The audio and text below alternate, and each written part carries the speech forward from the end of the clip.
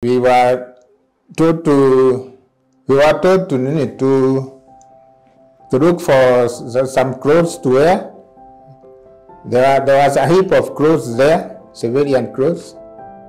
You could wear uh, any clothes that could fit you. Uh, I was dropped at uh, railway station and given uh, 20 shillings to go to to my to my home. When my sister-in-law saw me, she fainted. When she fainted, she had to be helped by uh, his her fellow workers. And when she recovered, uh, they had an impromptu harambee there.